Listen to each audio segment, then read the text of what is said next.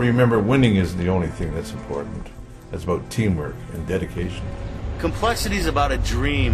You don't always win, unfortunately. It's about how you respond to things in your life. It's about something a lot deeper than gaming. Complexity is about life and about dreams.